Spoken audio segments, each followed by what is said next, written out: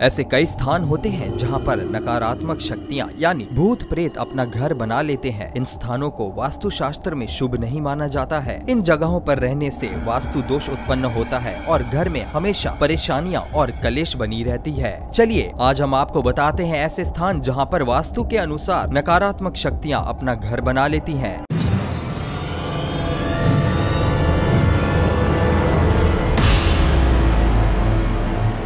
नमस्कार दोस्तों welcome back to the channel महाशक्तिशाली टोटके।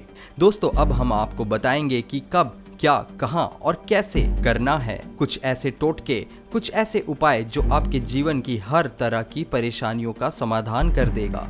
और आज इसी सिलसिले में हम आपको बताएँगे कुछ ऐसे जगहों के बारे में जहाँ शास्त्रों के अनुसार भूतों का डेरा होता है। आइए शुरू करते हैं। जिस स्थान पर तिरालीस दिन तक सूर्य की किरणों का संचालन न हो तथा घर की दीवारों पर नमी के कारण सीलन आ गई हो, इसके साथ ही घर में हवा संचालित न होने से दुर्गंध आती हो, ऐसे स्थान पर भूत प्रेत निवास करते हैं। वास्तु शास्त्र में ऐसे स्थान को अशुभ माना जाता है, जिस ज़मीन पर पूर्वजों का मरघट स्थान हो तथा उस जगह पर कोई व्यक्ति अपना घर बना ले तो वहाँ नकारात्मक शक्तियाँ अपना स्थान बना लेती है। वास्तु के अनुसार ऐसी जगह पर घर बनाना शुभ नहीं माना जाता। पीपल अथवा बरगद को काट कर घर बनाया गया हो, ऐसी जगह को नकारात्मक शक्तियाँ हमेशा घेरे रहती है। अतः घर खरीदने से पहले ये पता कर लेना चाहिए कि उस स्थान पर पहले पीपल या बरगद का पेड़ तो नहीं था, जो घर किसी कॉलोनी अथवा सड़क का आखिरी घर हो और जिसके आगे जाकर रास्ता समाप्त हो जाता हो, वहाँ पर भी नकारात्मक शक्तियाँ का वास होता है। जब किसी घर में पूर्व से सूर्य की किरणों को प्रवेश करने में बाधा उत्पन्न होती हो और उत्तर पश्चिम दिशा से वायु का संचालन बंद हो जाए, ऐसे में उस स्थान पर वास्तु दोष उत्पन्न हो जाता है और नकारात्मक शक्तियाँ से वो स्थान घिर जाता है। उत्तर पूर्व दिशा से जल का स्थान दूषित हो जाए देव स्थान या घर का मंदिर दूषित हो जाए तो उन जगहों पर नकारात्मक शक्तियों का वास हो जाता है तथा भूत प्रेत अपना बसेरा बना लेते हैं। दोस्तों, ऐसे स्थानों से दूर रहकर आप भूतों के डेरे से दूर रह सकते हैं। अगर आप पहली बार देख रहे हैं वीडियो तो चैनल को सब्सक्राइब ज़रूर करिए। हमसे जुड़े रहिए और भी ऐसे अनोखे टोटके के लिए। देखते रहिए